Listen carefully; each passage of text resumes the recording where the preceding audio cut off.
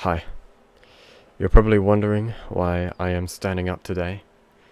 And that is because I am finding it really hard to have success in the YouTube landscape. Yeah, this is not a joke. I have actually been trying my best, absolutely everything, to become a big YouTuber. I put as much effort as I possibly can into each and every single video that I make, in hopes of that video going viral. And I don't feel like it ever does. I've been doing YouTube like a full-on career since January 2019, and I still haven't become a big YouTuber. It, it has now got to the point where I am doubting my success on this platform. And um, yeah, all the content I'm currently creating, it's a bit all over the place.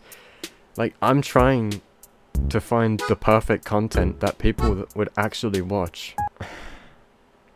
I literally don't even know what to do next. I've done absolutely everything.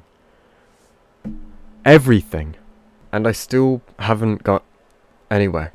I may have had like a few bangers here and there, but they're like one-offs. I've pretty much scraped like every corner of YouTube to do the sort of content that people will actually like. And there's nothing else I can do. Even after making just more than 200 videos on this channel. And yeah, there may be like a opportunity that I missed some time ago. And with, with all of those shorts channels, it just kind of pisses me off that they just create like one or two shorts. They get like millions of views and subscribers and then just drop it all. And people like me that are pushing out content on a regular basis, putting in the effort to actually edit them, and barely gain any views out of it. And even if a video does actually does re do really good, then um, I'm just always then I just I just get the feeling that this is the content that people want to watch. So then I make the full investment to creating another one, and then the second part to that is just a, more like a complete flop.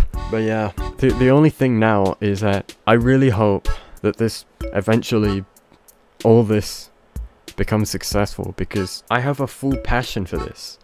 And I do not want to abandon what I'm currently doing. Take this.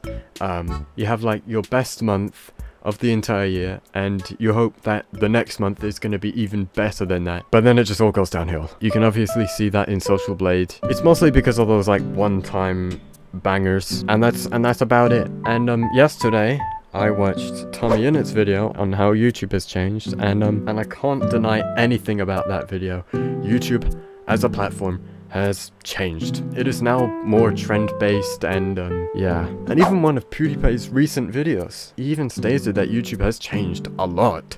And of course, I've been on this platform for 11 and a half years, and I can say that YouTube has changed a lot. There are a lot of opportunities that I have missed out on. You used to monetize your videos without any restrictions. That was a thing. But yeah, um, I'm also gonna give you some insight into what's really happening. I'm gonna show you how, what I got lifetime. Ever since the channel was first created, 20,255 views, 326 subscribers of course, and with all of that, 219 watch hours. That's so sad. I'm the saddest person on earth. So yeah, and it really kind of makes me sad that I, I'm creating content and um, that does not reach out to a lot of people. And by making this video, I really hope it gets reached out. And um, if you want to show support for my, and um, leave a like. And for the ones who actually do enjoy watching my content, thank you so much for the support. It really means a lot to me. But yeah, um, I know yes, one more thing before I go. About my goal of 10 million subscribers before the end of this year, I'm gonna think of um, either pushing that back to a later date or just completely scrapping that goal completely. And yeah, thanks for watching. Bye.